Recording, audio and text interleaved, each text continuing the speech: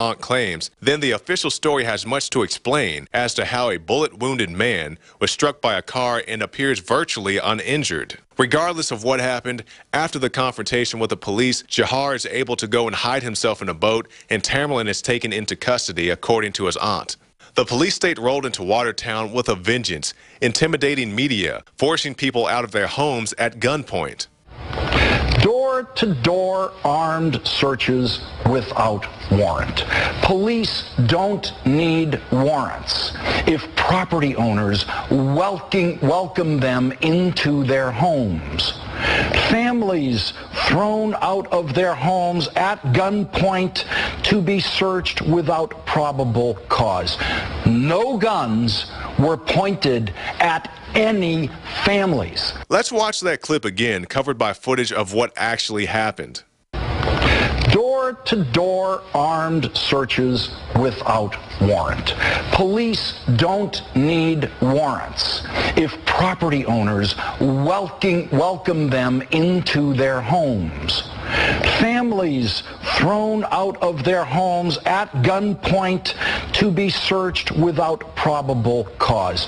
No guns were pointed at any families. But as you saw with your own eyes, people were forced out of their homes and had guns pointed at them. In the end, it was a homeowner who called the police to report suspicious activity in his boat. Police responded, fired multiple rounds into the boat, and I'm sure were shocked when Jahar was able to climb out of the boat under his own power. He is bloodied, but doesn't yet seem to have the wound in his mouth that would be reported later. If he indeed shot himself through the mouth, I doubt he'd be this mobile, and it's a pretty safe bet that he'd be suffering much heavier blood loss.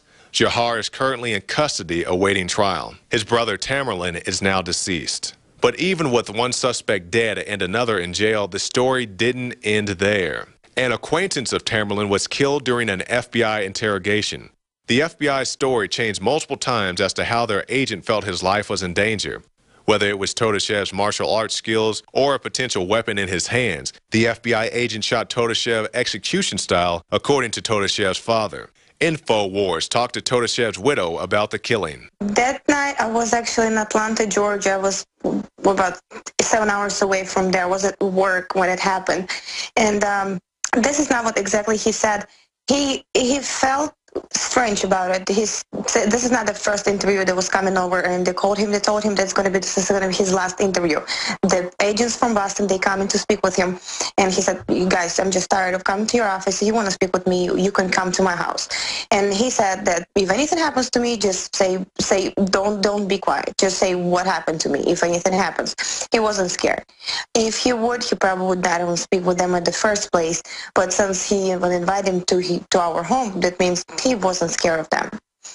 And um, they have interviewed him. He would not respond his cell phone or anything. And um, they have his friend waiting him outside, but suddenly they let him go after four hours. Um, and some of the agents still were still with Ibrahim. And as right now, they've been pulling so many statements that he was armed and he was unarmed, and that he was um, his body was a weapon since he's an MMA, MMA fighter. But he just had his knee surgery back in March. So he wasn't able to move pretty quick, pretty fast, or do anything. And um, after we actually, after already all that happened, we when we was able to enter the house, um, he had seven shots. One was in the back of the head, and not, it has nothing to do with him uh, start attacking them as as they said. They come in with the knife, with the blade, with the broom, with the swords. I think they um, came with the five different statements. Um, yeah, for those that don't know, it's important you say that. They've now admitted that he didn't have a weapon, didn't attack them. So as the runners take to the streets once again, let us not forget all of the lies, half-truths, disinformation, and teleprompter reading that has hindered justice for all of the victims of April 15th, 2013. You can find more reports at Infowars.com. Alex Jones may sound crazy, but still has 300 million YouTube. Uh, uh well, he had 300 million people that have watched him on YouTube. And that's a great report from Jakari Jackson. I want to make it clear that we pointed out at the time, and one of the reasons that they put these guys up as patsies was because we're making it clear at the time that the Southern Poverty Law Center and the mainstream media, Mockingbird Press, and I'm not using that as a metaphor, that's a CIA operation. They were setting up patriots. They were going to blame this on quote unquote right wing patriots, like we see them creating that narrative right now at the Bundy Ranch. First, they assassinate your character, then they assassinate you. We're going to talk about that when we come back. We're going to talk about how they're setting this up. And we're also going to talk about Agenda 21. Look at what they're doing, though. Just this last week, we had the Monday after the showdown on Saturday, we had Glenn Beck put Mr. Bundy on his show and start pushing the idea that he's part of the sovereign citizen movement.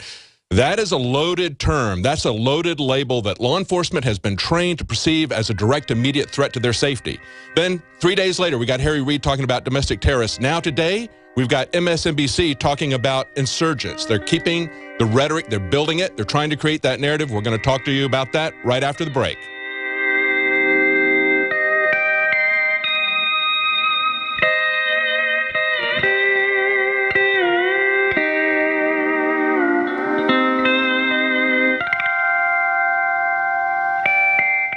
Hi, this is Ted Anderson. Have you ever wondered why banks, stockbrokers, investment advisors won't talk about gold IRAs? They've been available since 1986, yet the financial industry won't recognize the value of gold for your retirement. Gold has outperformed paper investments, yet no word about IRAs. If you would like to have gold for your retirement, call 800 686 2237. Don't get left behind by rising inflation and low returns. Call 800 686 2237. Secure your future and call 1 800 686 2237.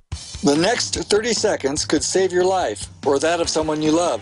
The Peacekeeper Mini by Tiger Light is the latest in high-tech self-defense, combining the number one rated Tiger Light with the amazing new Bluetooth GPS crowd alert technology. There is nothing like it. Endorsed by top police, military, and self-defense experts. Pre-order now at one-third the retail price at Indiegogo.com. Search Peacekeeper Mini. A chemical spill contaminating the water supply in nine West Virginia counties. This year alone, over 300,000 people in West Virginia had their drinking water contaminated. What are the health effects of having these drugs in our drinking water? It's forced medical treatment without the consent of residents. My friends, water filtration is one of the most basic actions you can take to protect you and your family from the harmful toxins and heavy metals in your tap water. On average, the county says it sprays with the glyphosate at least once a week. Few filters cut out the glyphosate that is found in water supplies worldwide worldwide. Remove pesticides, herbicides, chloramines, hydrofluorosilicic acid, sodium hexafluorosilicate. Fluoride it is in tea, it's in coffee, it's in water, it's in bread, it's in toothpaste. It is our responsibility to protect our families. The establishment's not going to do it. It's time to take action. It's time to filter our water. For a limited time, use the promo code WATER15 and get 15% off on all ProPure systems at InfoWarsStore.com or call toll free 888 253 3139.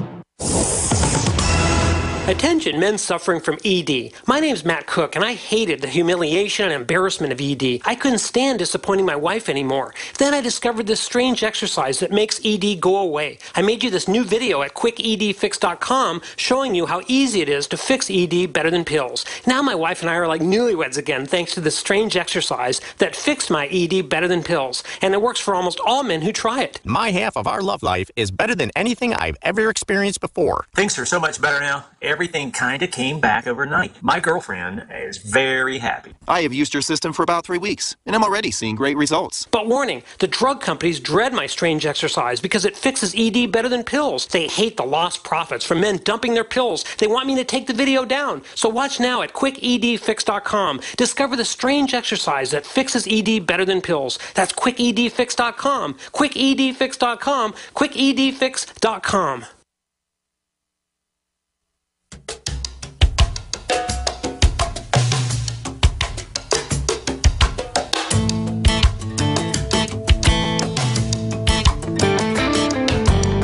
Cyrus Jones from 1810 to 1913. Welcome back to the Alex Jones Show. I'm David Knight. I'll be concluding the show today. And we'll try to take your calls in overdrive if we got time, but I've got to cover some of this news about what's breaking across the country because it's not just the Nevada ranch.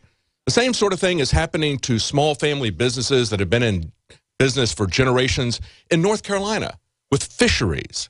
And it's the same type of tactics that we see being used against the Bundys. But before I get into that, let's let's repeat this. Uh, TSA agents patting down two and six year old children. This is a story that's up on Infowars.com. It's linked on the Drudge Report. Absolutely amazing and repulsive what they're doing to our children, what we're letting them do to our children. Listen to this. In response to a huge backlash, the TSA amended its policy in 2011 to massively reduce pat downs of children under the age of 12. Infants were allowed to pass through x ray or body scanners multiple times if there's any anomaly in order to prevent the need for a physical search. Now, okay, what are we doing allowing them to search our children to put their hands all over their bodies? Clearly in this video, the uh, girl that was having this done to her, the six-year-old girl says, I have got to go, I've got to go. She's not comfortable with that. She shouldn't be comfortable with that. I'm not comfortable with that.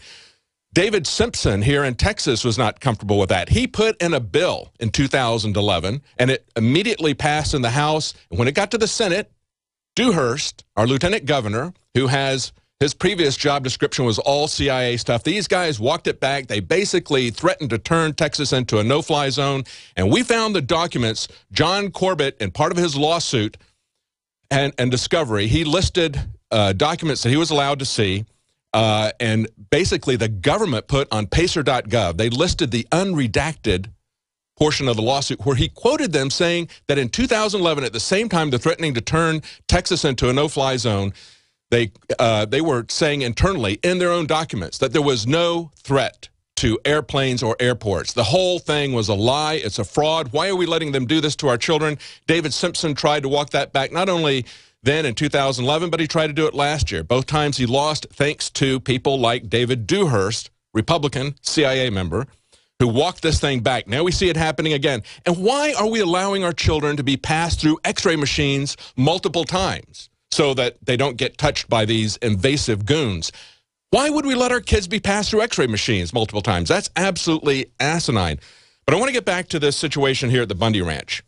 As I mentioned before, we see the rhetoric escalating. It was a week ago that Glenn uh, Beck tried to pen the label of a sovereign citizen movement on Mr. Bundy, and that was not what he was saying. He was saying that the state and local government was sovereign. They should be doing something about this. Then four days later, three days later, on Thursday, we saw Harry Reid uses the term domestic terrorist. Clearly a lie, clearly over the top. Now we've got MSNBC calling the people that were there, calling the Bundys insurgents, escalating this. This is what we saw developing at the Boston bombing last year. It was the Southern Poverty Law Center that was coming in and pushing on that at the time as well. Oh, we think this might be some domestic terrorists. This might be right-wing terrorists. We started exposing that. We started looking at crowdsourcing investigations, pictures that we're putting up, showing how they were setting this thing up, and they canceled their press conferences and went with a different story, using these guys who they'd worked with in the past as patsies. That's what I firmly believe. But let's look at what's going on. Who are the real terrorists here? What we saw at BLM, I just made a quick list of some of their crimes. Assault with deadly weapons as they were training snipers on people who were unarmed. Battery of protesters beating them, armed robbery, grand larceny, denial of civil rights in the free speech areas, impersonating an officer. That's right, impersonating an officer. We have Congressman Steve Stockman from Texas who wrote a letter and said, you know what? When you have to use law enforcement, the law says you shall contract with local law enforcement, not do it yourself. We're going to be right back in Overdrive. Stay tuned. I want to finish this.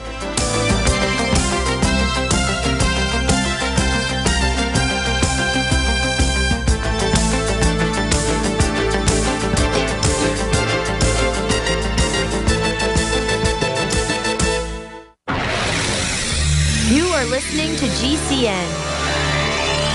Visit GCNlive.com today.